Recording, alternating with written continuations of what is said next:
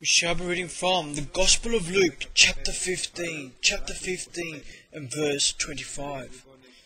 The Gospel of Luke, chapter 15, chapter 15, and verse 25. 25.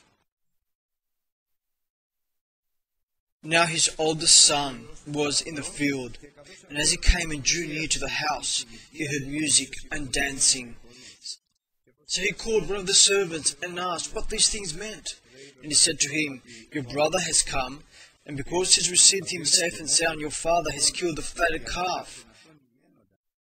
But he was angry and would not go in. Therefore his father came out and pleaded with him. So he answered and said to his father, Lo, these many years I have been serving you. I never transgressed your commandment at any time, and yet you never gave me a young goat that I might make merry with my friends. But as soon as this son of yours came, who has devoured your livelihood with harlots, you killed the fat calf for him.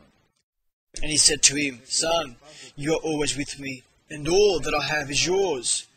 It was right that we should make merry and be glad, for your brother was dead and is alive again, and was lost and is found.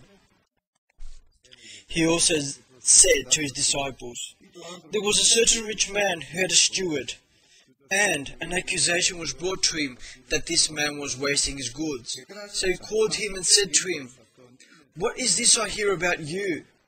Give an account of your stewardship, for you can no longer be steward. Then the steward said within himself, What shall I do? For my master is taking the stewardship away from me. I cannot dig. I am ashamed to beg. I have resolved what to do, that when I am put out of the stewardship, they may receive me into the houses. So he called every one of his master's debtors to him, and said to the first, How much do you owe my master? And he said, A hundred measures of oil. So he said to him, Take your bill and sit down quickly and write fifty. Then he said to another, And how much do you owe? So he said, A hundred measures of wheat. And he said to him, Take your bill and write eighty. The master commended the unjust steward because he had dealt shrewdly, for the sons of this world are more shrewd in their generation than the sons of light. And I say to you, make friends for yourselves by unrighteous mammon, that when you fail, they may receive you into an everlasting home. He who is faithful in what is least is faithful also in much, and he who is unjust in what is least is unjust also in much. Therefore, if you have not been faithful in the unrighteous mammon, who will commit to your trust the true riches? And if you have not been faithful in what is another man's, who will give you what is your own? No servant can serve two masters, for either he will hate the one and love the other, or else he will be loyal to the one and despise the other. You cannot serve God and mammon. Now the Pharisees, who were lovers of money, also heard all these things, and they derided him. And he said to them, You are those who justify yourselves before men, for God knows your hearts. For what is highly esteemed among men is an abomination in the sight of God. The law and the prophets were until John. Since that time the kingdom of God has been preached, and everyone is pressing into it. And it is easier for heaven and earth to pass away than for one title of the Lord to fail. Whoever divorces his wife and marries another commits adultery, and whoever marries her who is divorced from her husband commits adultery. This is a law, a spiritual law, my brethren, which cannot be transgressed in the gospel of Jesus Christ. We must add something here now. The gospel of Jesus Christ preaches grace, but he who preached the gospel of Jesus Christ was none other but Jesus of Nazareth who lived and did the law. For the good Christian, for the man who really cares about the kingdom of heaven, the gospel of Jesus Christ is law for himself, grace for the others. That's the voice of the Holy Spirit. For me, not for you, for me, for me, it is law, which means that I want to be, and because I do want to be in the complete freedom of the Holy Spirit, I made a decision to do the gospel of Jesus Christ, but with the grace of Christ and the power of the Holy Spirit. For you, though, I will say, seek for the grace of Christ so you can. And if we think like that, all of us in the Church of Christ, one by one separately, that for each one of us who have decided to go to the kingdom of heaven, the gospel of Jesus Christ is our law, then in this church there will be the grace of Christ and it shall reign. One law, therefore, which you cannot transgress in the gospel of Jesus Christ is that no servant can serve two masters. For either he will hate the one and love the other, or else he will be loyal to the one and despise the other. You cannot serve God and mammon. A Christian cannot serve two masters, man in generally, but especially we're talking today about the people of God who have God's promises, who have the authority which is the Word of God, and they have the grace which is Jesus Christ. For a Christian, my beloved brethren, there is a law. You cannot serve two masters. And this is for the Christians, because only Christians, in his unrestricted freedom of the Holy Spirit, has enslaved himself in Christ and to his brethren. From here we must start from the first question. Have you decided to be a servant? A very nice question. God has decided this. He says, Upon my men servants and maid servants I will pour out from my Holy Spirit, and I shall prophesy. God is inviting us to free us from the oppression of the devil, to establish us free, to offer us His love, to flood our heart by the Holy Spirit with the love of God so he who loves Jesus Christ to be he who submits himself to him and does his holy word. So he is a servant to the word of God. Completely free, but a servant. An example. Someone comes and says, I drink a lot. I'm a slave to alcohol. I cannot stop drinking. At night, I go home and beat my wife. And then I say I won't drink again, but the next day I drink even more. Who will free this man? No man can. Only Christ can. What does Christ do now? He frees him. He says, You are free now, in one moment's time. And that desire leaves of smoking, of drug taking, of alcohol. The desires leave, and man is freed completely. What happens? He becomes free. And the Bible says, Only who Christ frees, this person is free indeed. And so this free man chooses, chooses who is his shepherd, who is his Lord, who follows.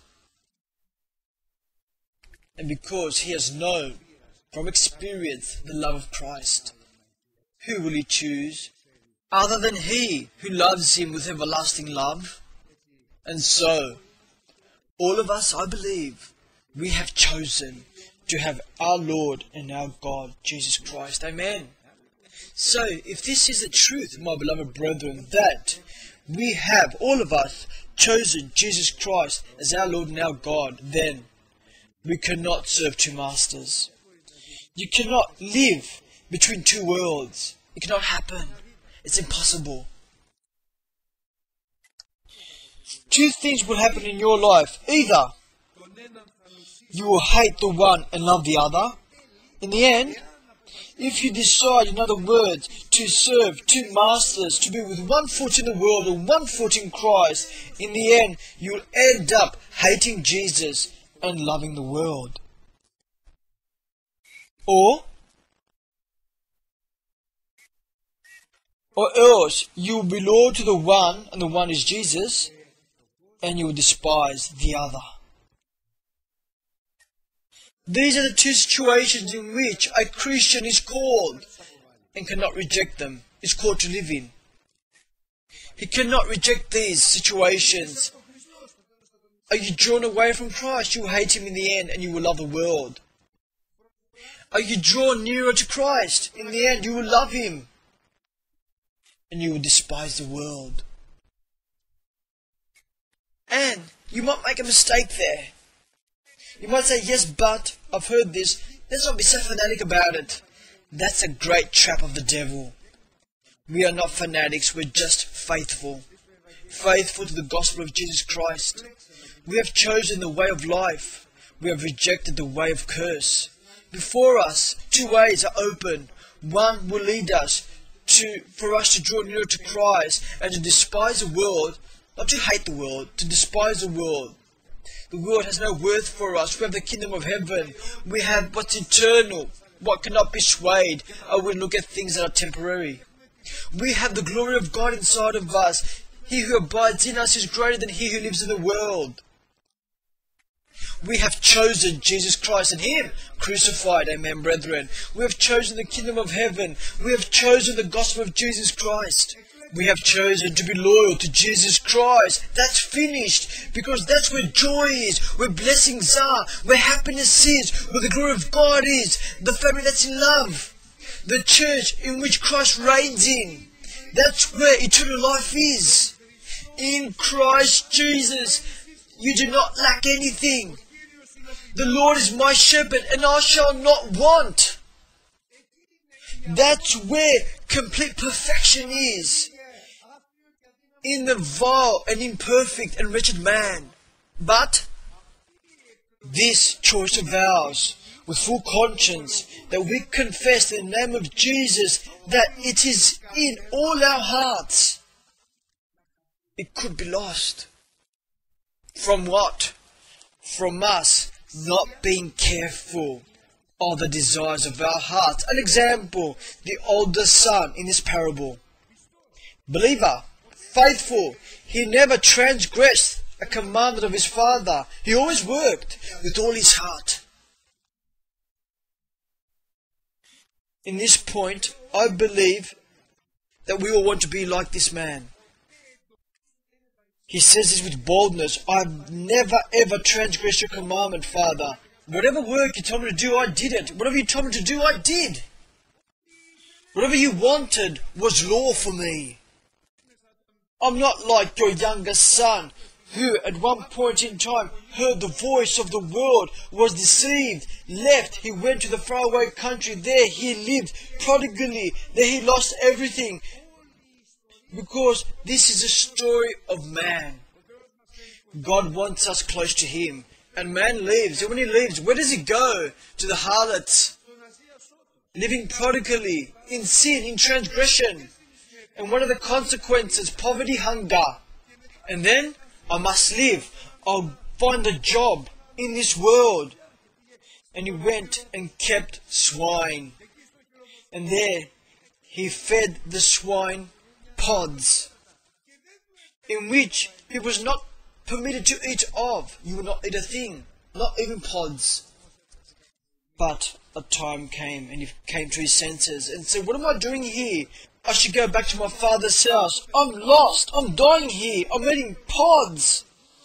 How many of my father's hired servants have bread enough and to spare, and not perish with hunger? And they eat bread from heaven of the Father, and I'm sitting here. And he made up his mind and went back home. And his father, when he saw him, opened his arms and said, Come, my child is waiting for you. Put on him the best robe. Put on him a ring on his hand and sandals on his feet. Kill the fatted calf so we can eat and be merry and glorify God. Let's celebrate with spiritual celebration because my son was dead and is alive again, was lost and now is found. But now the manager of the father's estate, the older son, the only one he managed everything. All that I have are yours, the father said to him. And what did the son say? I never transgressed your commandment. Whatever you wanted, I did. A perfect Christian. I did whatever you told me to do, no matter where I was. Whatever you said, I did it. But when, one day, he returned from the field to the house, he heard song and dance, joy, He asked, What's going on? Your brother has returned. And your father is happy, and he killed the fatter calf for him. And he didn't want to enter his father's joy. Why? Because his heart didn't have the will of God in it. He did not have the Spirit of Christ in him. I'm not entering. I've got to do with these things. His heart was hardened. Let's see now, the best manager, the best Christian here. Just think of that. Who is the best Christian among us? Just say, it's me, I'm not. And all of a sudden, my heart gets hard. I get angry. Why? Because God wanted to bless him in which I did not approve of. I did not approve for God to bless that man. I wanted God to bless me and those who I want to be blessed. I have my own opinion, my own thoughts, my own position. God's not saying things right. The brother's not speaking well. They don't say things well. I say things well. And I, that I say things well, I'm outside. And the father comes, Come, my child, inside. Come, come in your brother's joy. Come in the house. Don't sit there all by yourself. Come in the house now. Now, this apostasy is more difficult. It's not like the apostasy of the younger son. It's the apostasy of the older son, which is very difficult because he is self justified. What has he got? Pride, arrogance. Arrogance, I know. The Word of God doesn't. God doesn't know. The voice of the Holy Spirit doesn't know. They don't know. I know. And self justification. I was always faithful. And he never entered the house. He never entered. He lost everything. Nothing was left for him. Even though he had everything, in reality, he didn't have a thing. Even though he had everything. And everything was promised to him. Like Israel, like Jacob, I promise you everything. But what I see in your heart is arrogance, pride. As exactly we see today in the older son's heart, arrogance, pride. And he hasn't understood a thing. He's got his own opinion. Me. I'm right, Father, you're wrong. And now, Jesus Christ comes to give a nice story to his disciples so they can understand the things that man must walk with the Word of God and the guidance of the Holy Spirit, and never with his heart. Never with his heart. Because he will fall into great destruction, even if he has all of God's promises, even if I have all of God's blessings until now. If today I decide to walk according to the desire of my heart, because I judge that right, I will fall into problems, into difficulties. Come here. Let me explain to you, Christ says. There was a man who had a steward, a manager. He said, You will manage all my estate. And you know, my beloved brethren, a manager and a steward of the things of man then. They had complete freedom to do whatever they wanted to do. Pharaoh had said to Joseph, All are under your authority. You are my second in command, apart from my kingdom. Potiphar has said to Joseph, All are under your authority apart from my wife and me. He was a steward, unrestricted authority, and the Bible says Potiphar did not know what Joseph did with his own possessions. And Pharaoh did not know what Joseph did throughout all of Egypt with his kingdom. He didn't know. He trusted him though. Potiphar had complete trust in Joseph. Pharaoh had complete trust in Joseph also. And my beloved brethren, I want to tell you something which is very, very serious. God has complete trust in you, brother, so you can govern your family. He has complete trust in you. He has complete trust in the elders of the church. He has complete trust in the mother who brings up her children. God has complete trust. You know why? He knows very, very well my weakness, your weakness, and our weaknesses. But He has complete trust in me, for example, because He knows that the management of my house, I've given it to Him, to Jesus. He has complete trust in me. He has complete trust in the elders and the pastor if he knows that all the management of the church, they have given it to Jesus. God has complete trust in you, sister. You can bring up your children if He knows that you have given all the governing and the management of your family as a housekeeper, you have given it to Jesus, but in truth, not with a cunning heart, rather correct that word, a mistake, not through self justification like the older son. The older son wasn't cunning, he was self justified. He was self justified. The steward had all the management of this rich man's estate. He did whatever he wanted to do. But he was informed. This rich man was informed. And some people accused the steward. He did not find it out himself. And let's be careful here, my brethren, the work of the devil, who accuses the brethren night and day, who goes before God and says, Who? Him. Her. They're all in sin. And that's his accusation, but we thank God because we have Jesus Christ who says, I paid, Father, for their sins. Do not take it under account. And so God set you free. That's the grace of God through Jesus Christ. And always Christ wins over the accusation of the devil before God when you have devoted your life to Jesus Christ, the Word of God, and the voice of the Holy Spirit. That's why, my brethren, it's a great message from heaven today, I assure you. You are innocent, wise, winner, blessed, if your life is devoted to Jesus with complete obedience to His word and to the voice of the Holy Spirit. You lose everything.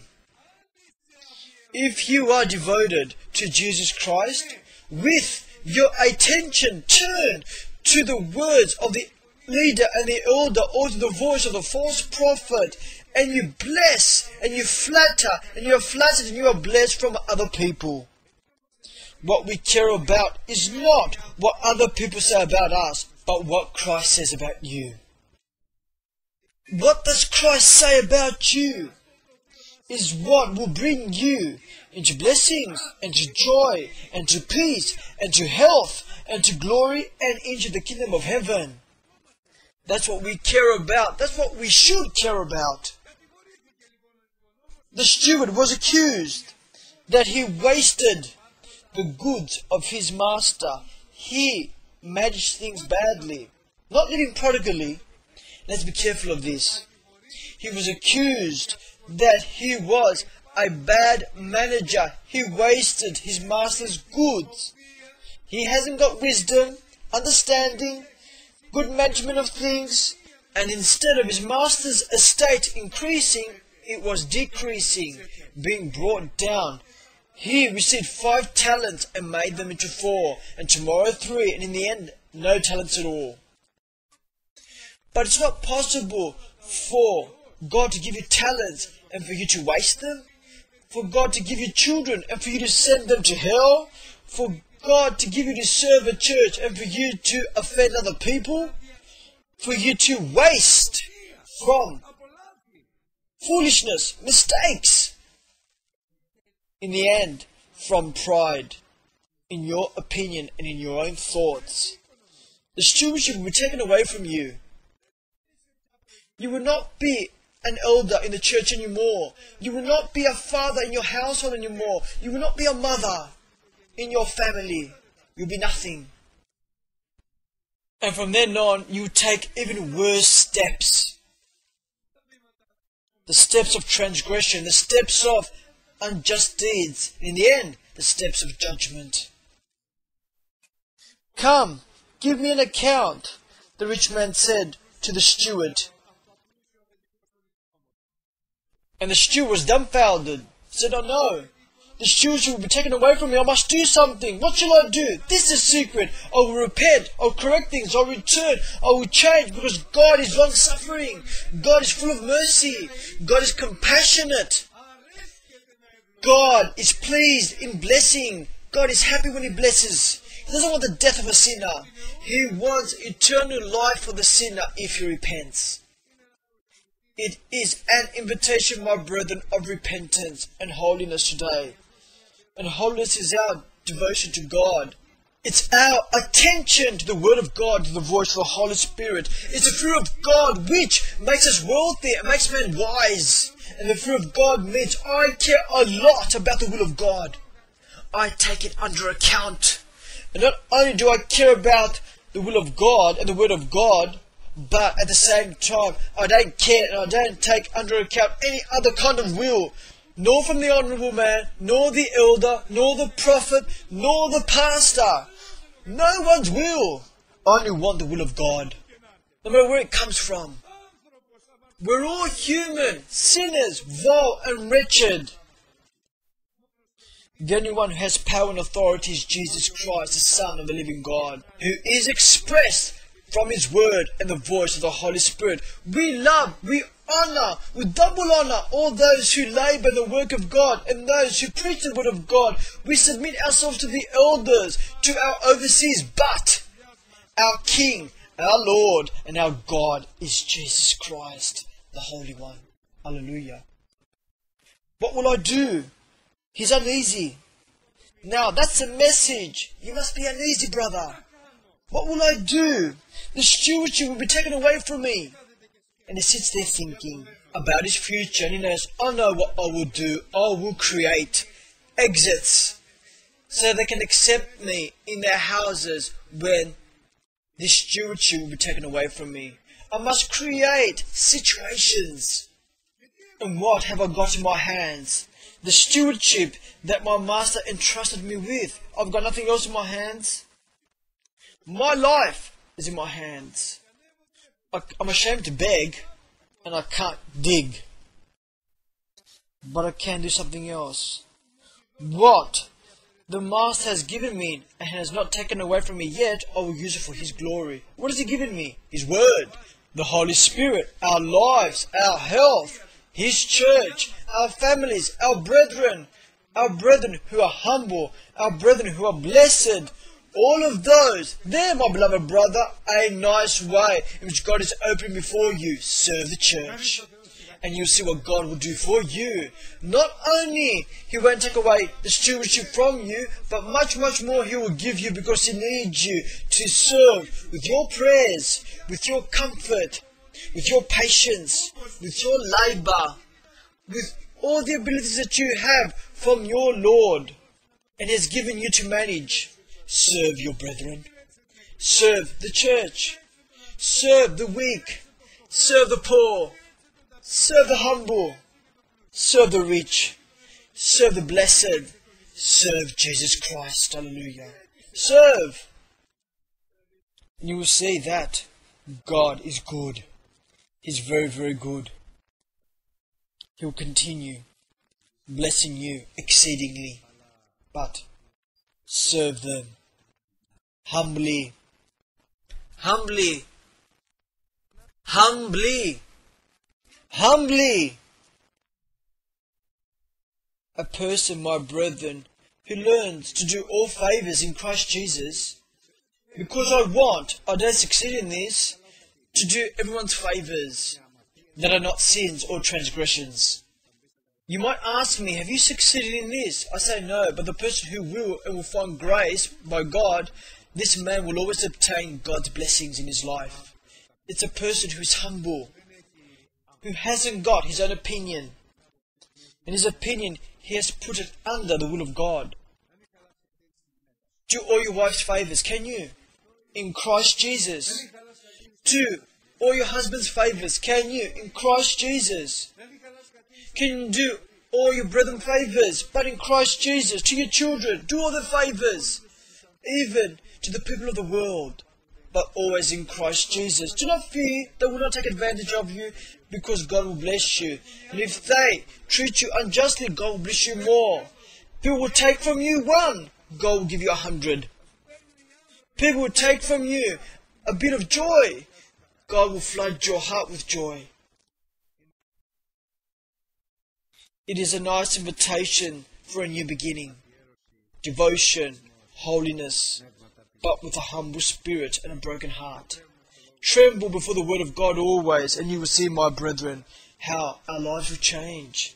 Our families will change. Our church will change. Everything will change. Because Christ will change them for us. It is He who creates new things. It is He who knows how to give and no one can take away. It is He who knows how to open and no one can close. It is He who can exalt and no one can humble. It is He who can glorify and no one can reproach. My brethren, may Christ be with you. It's a great secret. If Christ is with you, who can be against you? Who? Who? Before the gates of hell open, one word Christ will say. Anyway, they're all bound. They can't do anything to you. But we want Christ to be with us. I want this a lot. I think you all want this too. We all want this. We want Christ to be with us. But for Christ to be with us, I must be with Him. I want Christ be with my family to protect my children, my grandchildren, to protect the soul. I want this. What can I say? Don't we want this? We all want this. I want Christ to be glorified. I want Christ to be with our church. I want Christ to be here as King, to do whatever He wants to do. Whatever He wants to do, we give Him complete freedom. Lord, do what you want to do, because we know that you love us and you will do the best things for us. Let him do what he wants to do. Let's let my beloved brethren Christ do whatever he wants to do and let's plead with him to give us commandments and for us to say, Here we are, Lord. Man cannot serve two masters. This cannot happen. He will either hate the one and love the other, or else he will be loyal to the one and despise the other. Light cannot be with darkness. It cannot. Where there's light, there's no darkness, and God is light, and there's no darkness in him. The idols do not mix with the truth. They don't. It cannot be done. The ways of the world cannot be with the ways of Christ. This cannot happen. It cannot be done. But let us all know with all assurance that if we make a decision to follow the ways of Christ, the mind of Christ, then God will give us all the authority. I give unto you all the authority, all the power to step upon serpents and scorpions and all the power of the enemy, and no one will be able to harm you, my beloved brethren. This is a nice wish. Pray for one another, the Bible says. May God be with you all. Amen.